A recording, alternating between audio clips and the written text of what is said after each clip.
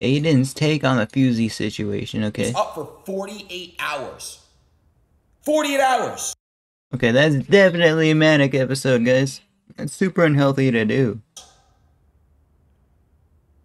He got threatened. Okay. He still needs sleep. Look what he just did before. He called and said, I have a gun to my head and shit. Legit, a 48 hour stream. That's wild.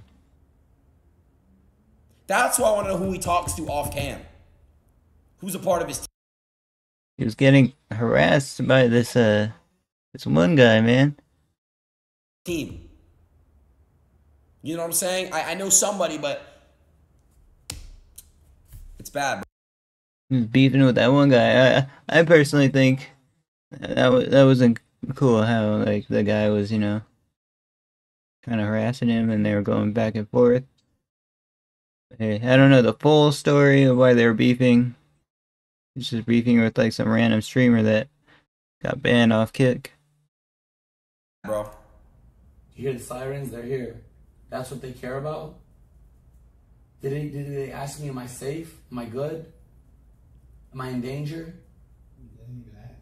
Go get some sleep. Somebody Money put never CX in the chat.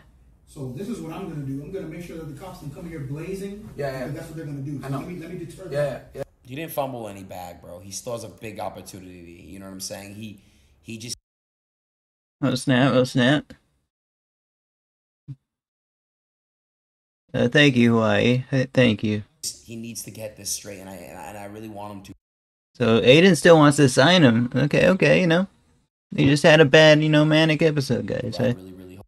He hasn't been live since, but when he goes live, who knows how many viewers he's gonna have. Adin has like 80k almost. So man, this guy's freaking